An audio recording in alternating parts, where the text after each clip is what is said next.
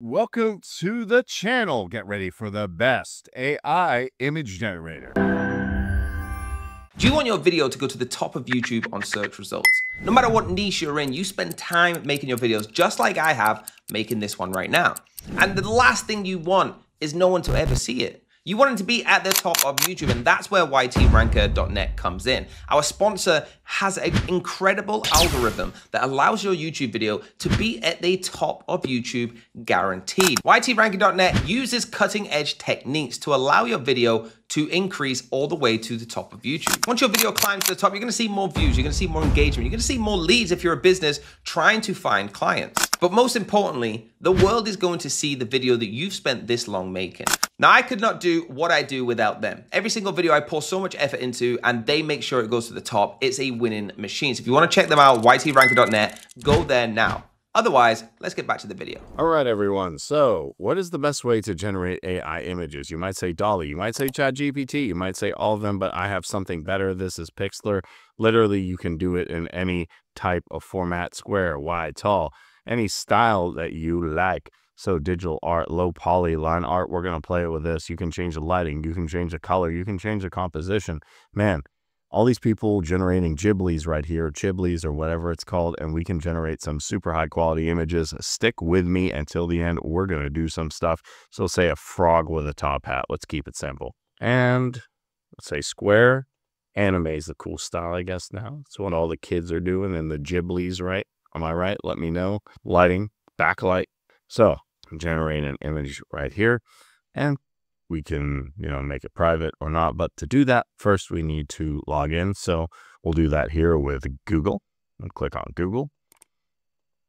You can also make your own image, you know, password and all that stuff like that. So I'm getting the Pixlr Studio and we have different offers.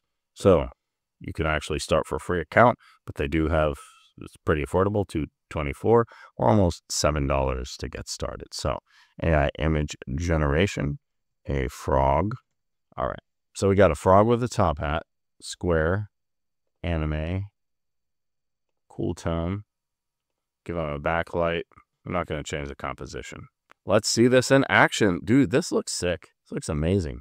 A Doge with a ball cap. Let's make it fun for the viewers. Neopunk vibrant, volumetric, and let's go shot from above, generates. All right, dude, DALL-E has got nothing on this. This is really cool. We got a bunch of anime stuff right here. Hey, look at my Doge. Look at those Doges right here. I'm gonna make me want to get some Dogecoin. Just rock a Doge. Let's do one more. Samurai drinking a beer. a samurai drinking a beer? That's pretty cool. Let's do it cinematic. Pastel. Dramatic. It's dramatic. Sometimes you gotta run it a couple times. That's okay. All right, a samurai drinking a beer.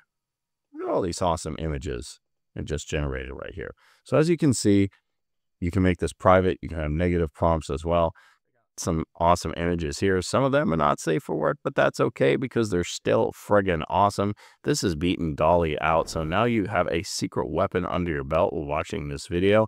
And I think a lot of people can appreciate this. You get a limited time offer. Pixlr, that is the place to generate the coolest AI images. I know there's a lot of places, no DALL-E and, you know, paying all that stuff, but Pixlr, it takes the cake. Plus, you get a ton of credits. And then it's really, really good. You can go ahead and play around with this and just come up with your own ideas. Uh, they got the square here. Let me know what you think of this. What do you use for AI generation for images if you're using it? And what do you think of this? And if you enjoyed this video, smash that like button, hit that subscribe button, hit that notification bell to know when I post more videos. Questions or comments, let me know down below. Thanks for watching. Catch you in the next one.